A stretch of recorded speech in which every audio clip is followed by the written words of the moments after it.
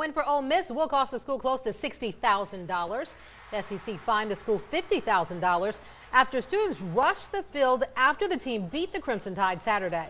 Another 10,000 will be needed to replace the goalpost after students took them down.